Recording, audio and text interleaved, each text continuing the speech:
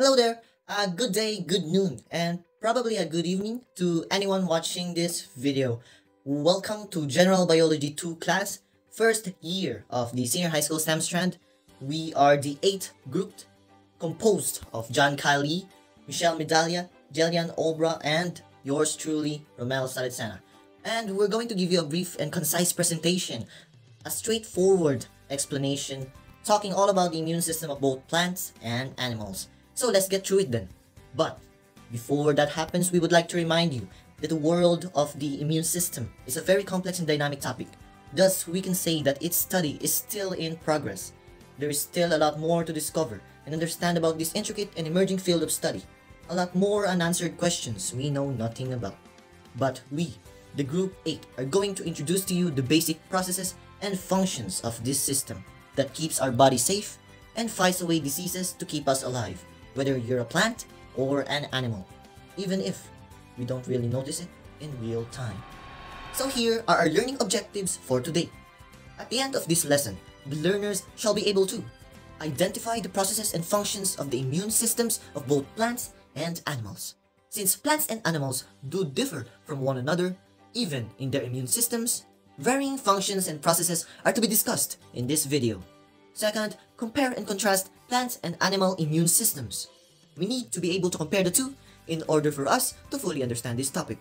And lastly, recognize the importance of the immune system for both plants and animals. So why is our immune system that important?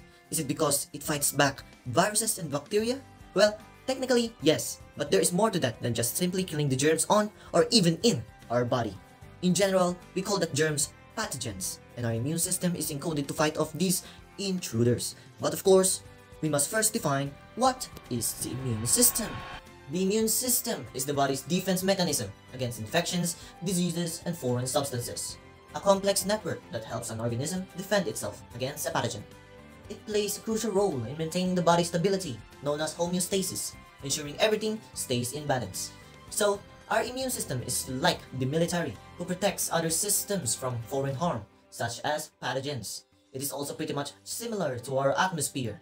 The Earth's magnetic field protects us from the deadly rays of the sun, ozone layer acting as a greenhouse to trap heat and maintain balance of temperature, which we know as homeostasis, and also the different layers of the atmosphere that also shields us from threats such as cosmic rocks flying in deep space. While dysfunction of the immune system can cause autoimmune diseases, which is a condition from an abnormal immune response to a normal body part. It is where the immune system attacks healthy parts of the body. It is like a betrayal of cells. Relating to this condition, I think I saw something online that when the immune system realizes where our eyes are located, which I think the immune system doesn't know about, or is not familiar about the part of the body, it attacks it, thinking our eyes are foreign and a possible threat, which could cause permanent loss of vision, which is quite freaky. Going back, this function of the immune system can also cause immunodeficiencies. One known example of this is HIV or AIDS, which weakens our immune system. Also inflammatory diseases like asthma, even allergies, and cancer, all of which could possibly lead to death. Here are some of the important terms we need to familiarize. Immunity is the ability to resist a particular disease through preventing its development, specifically the pathogen, or by countering its effects. Immunity has a lot of mechanisms and also has different types that we're going to talk about later in this video. While immunology is a science that deals with the immune system and the cell-mediated and humoral aspects of immunity and immune responses. It is the study of the immune system which we humans still have gaps in understanding. A ton of mysteries about it still exist, but it also has major breakthroughs that helped humanity in many ways, such as the development of vaccines and a lot more. We're also going to talk about that later. But why do we need our immune system, you may ask? This is mainly because of pathogens. Pathogens are a specific causative agent of disease in a host.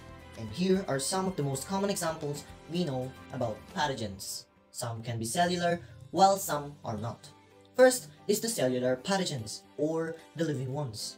There is the bacteria, which are prokaryotic microorganisms, mostly harmless, but some can cause diseases. Example of this is Salmonella. Second one is fungi, eukaryotic organisms with cell walls and a nuclei. A good example of this is ringworm. Also, there are parasites, organisms dependent on host for survival. A good example of this one is a tapeworm. And lastly, protists, which are a diverse group of eukaryotic microorganisms. And a good example of this one though is the malaria. Now let's move on to the acellular pathogens, or the non-living ones. One example we know is viruses, which are non-living particles that need a host in order to multiply. Viruses are small strands of DNA or RNA molecules. A good and recent example of this one is the COVID-19.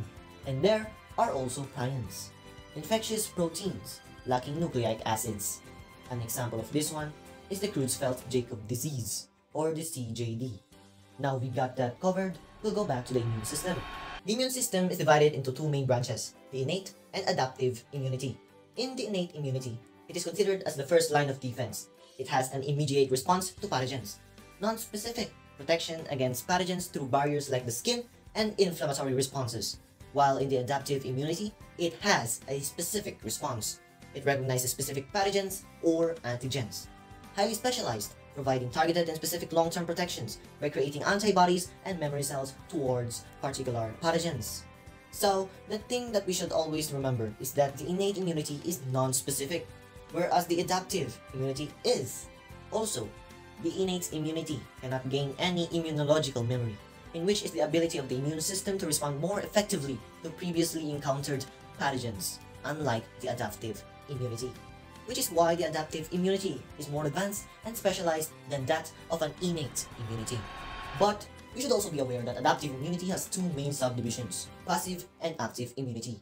In the passive immunity, it refers to the transfer protection to external sources of antibodies or immune cells. It has immediate protection, but is short-term and has no immunological memory. While in the active immunity, it is long-term protection through direct exposure to antigens, stimulating immune response. Though it has delayed protection, it is long-term and has an immunological memory. And each of these immunities has its own subtypes, natural and artificial. In passive immunity, a good natural example of this one is breast milk and placental transfer, due to the fact that it is a mother-to-child relation, unlike the artificial passive immunity that is provided and not made by the body. It is produced in a laboratory and injected into the body Example of this one is immunoglobulins and antivenom. While in the active immunity, a good natural example of this one is the recovery from certain illnesses. Like when you've experienced having chickenpox once in your lifetime. It means you're immune to it now and cannot experience it twice since your body has adapted. That is what we call immunological memory. It remembers the pathogen or illness and fights back more stronger. While the artificial active immunity is the intentional exposure to antigens. It is like to teach or to train your immune cells to fight these pathogens. Vaccinations and immunizations are some known examples of these ones. And active immunity of adaptive immunity also has two subdivisions of its own, cell-mediated and humoral immunity. In the cell-mediated immunity, T cells, or also known as killer cells, directly attack infected cells, which is why they're called killer cells or they can also produce cytokines which are signaling molecules secreted by immune cells that facilitate cell communication to kill infected cells. They can also regulate immune responses and memory cell formation. T cells also signal macrophages, who have a crucial role in phagocytosis. They're the ones who eat particles like pathogens.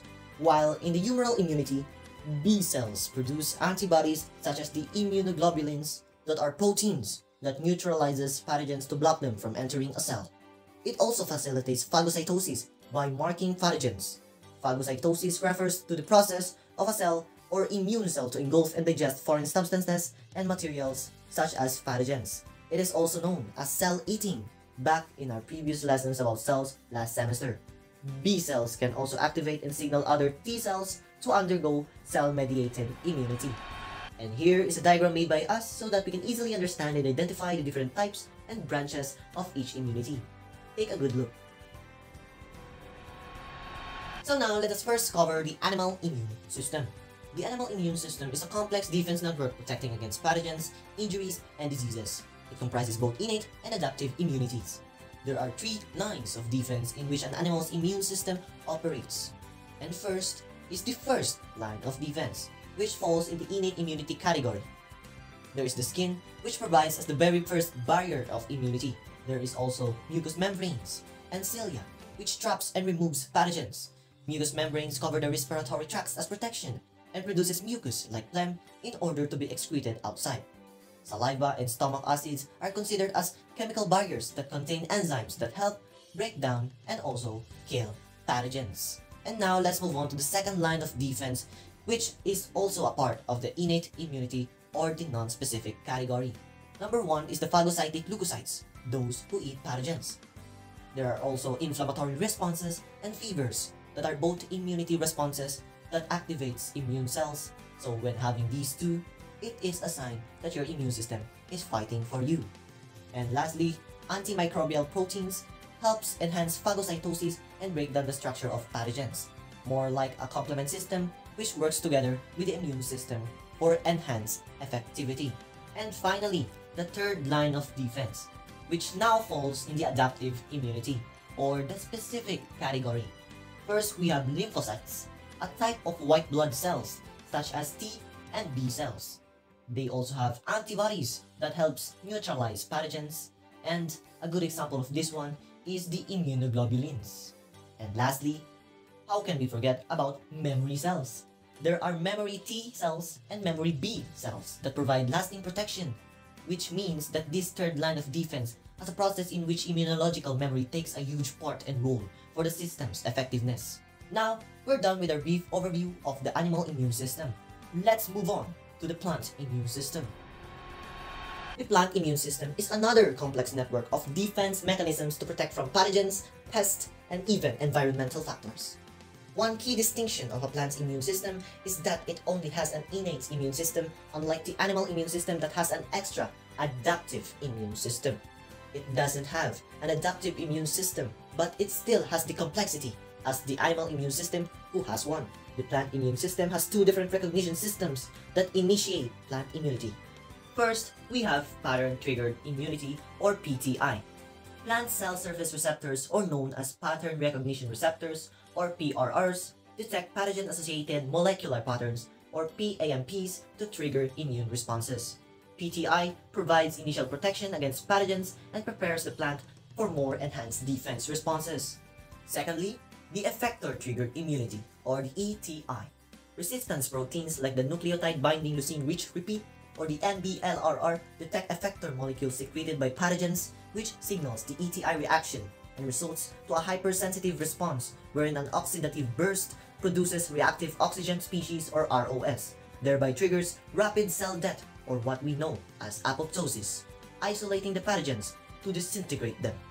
ETI recognizes specific pathogen effectors that are typically more stronger and faster than PTI responses that usually detect general PAMPs or pathogen-associated molecular patterns rather than specific ones. To give comparison, here is a Venn diagram representing the main differences and similarities of the immune systems of both plants and animals. In plants, they are known to lack an adaptive immune system, and they also lack mobile immune cells, and has immune responses that are occurring within individual cells, while in animals, they possess an adaptive immune system. They are more complex with multiple cell types and organs. And also, they have specialized immune cells. With their similarities, they both possess an innate immune system. They both recognize and generate protection against pathogens and produce antimicrobial molecules. Summing up everything that has been stated, the immune system plays a critical role in maintaining the health and well-being of both plants and animals. Moreover, the immune system drives adaptation and species diversification, maintaining ecological balance. Here are the references our group based on, and that would be everything covered for today. Again, this is Romell Salicena with my fellow groupmates Jelian Obra, Michelle Medalla, and John Kyle Lee. Together, we are the Group 8, discussing and giving a brief overview of the plant and animal immune system. We hope you've learned something for today, and here I shall say adios.